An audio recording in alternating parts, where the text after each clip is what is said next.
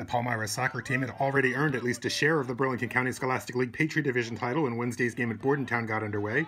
Bordentown was a team that still had something to earn, and from the start, that was the difference. Evan Carr gave the Scotties the lead in the third minute, and Bordentown never lost the momentum. Um, kind of gave us a big uh, lift in the first half. We knew we had to come out with uh, energy, and they were going to match our energy.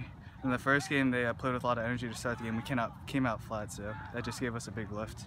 Well, Coach Zablow always tells us if we get the ball in the back, just put it back in in the mixer, and I just kind of kicked it and it went in. It was the start of a trend that would be seen throughout the game. Bordentown converting a set piece chance, and a moment later, Palmyra just missing one.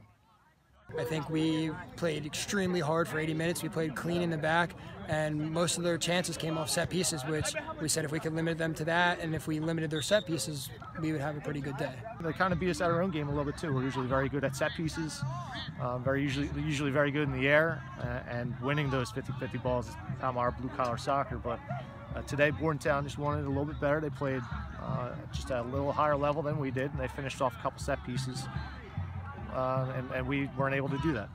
The Scotties' Hector Harris put in the second, seven minutes into the second half. After it was 1-0, my coach was like, um, Hector, I need you to get the second goal. I was like, I got you. It was Sean O'Leary who assisted on Harris's goal, which finished off the Scotties' 2-0 win and left Bordentown and Palmyra as co-champions in the Patriot. The Scotties' title is their third in a row. That day, our goal coming in day one, I said to all the guys back in June when we had a soccer meeting was, I want to win a conference championship. You guys have won two straight. I want to win, make it a third. From Bordentown Regional High School, this is John Lewis.